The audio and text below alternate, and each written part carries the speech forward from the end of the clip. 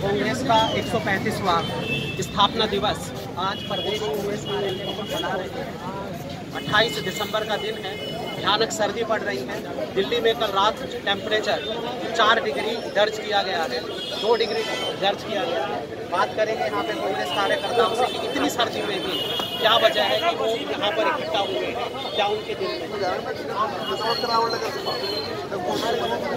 पहाड़गंज से ये आए हैं। भयानक सर्दी पड़ रही है टोपी आपने है, शॉल आपने क्या वजह है कि आप क्या आपके दिल में ऐसी चीज़ें हैं जो जिसने मजबूर किया कि आप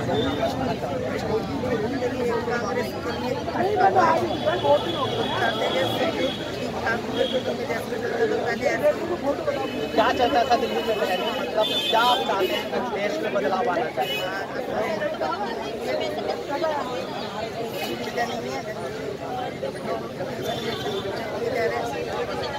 सुनते हैं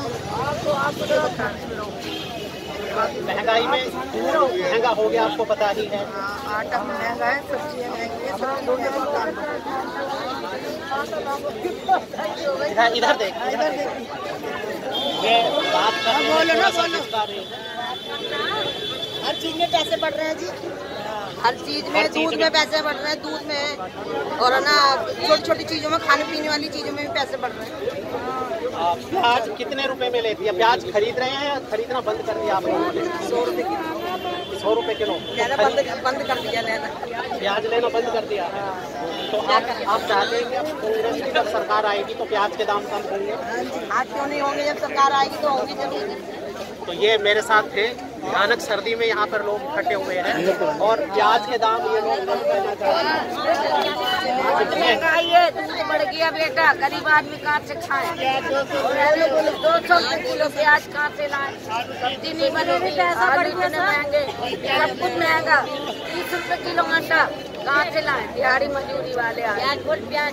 प्याज दो सौ रुपए किलो आलू दो सौ रुपए किलो दाल दो सौ रुपए किलो। क्या खाएँ? गरीबों की फ़ीस माफ़ तो हो रही पिछली बार बच्चों की? बच्चों की स्कूल की फ़ीस देना में दुश्वार हो रहा है। क्या से कहे गरीब आदमी क्या करे? बच्चों को स्कूल किस तरह केजरीवाल तो कहते हैं कि हमने पिछले पाँच साल में फ़ीस बढ़ नहीं स्कूलों में। है बोलता है वो। मैडम सर मैडम बोलता है वो। मैडम बोलता है। बेकार आदमी है वो। अच्छा नहीं है और हमसे कहता स्कूल के टीचर कहते हैं कि हम इस देगा तो पेपर में नहीं बैठने देंगे बच्चों को।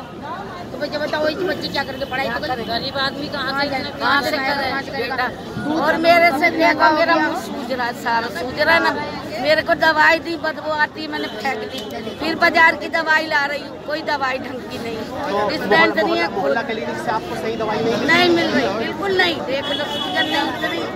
फेंक दी दवाई कड़वी झैर और खराब बदबू आती है नहीं है अच्छी दवाई। मैं साफ़ बताऊँ बेटा बिल्कुल साफ़ धर्म लगती बता रही हूँ बिल्कुल बेकार है। अब तो उसे हरा ही दो और कांग्रेस को लाओ। प्रोग्राम शुरू हो गया है थोड़ी देर बाद फिर हम आते हैं आपके पास पहली सरकार कांग्रेस थी और कांग्रेस को लो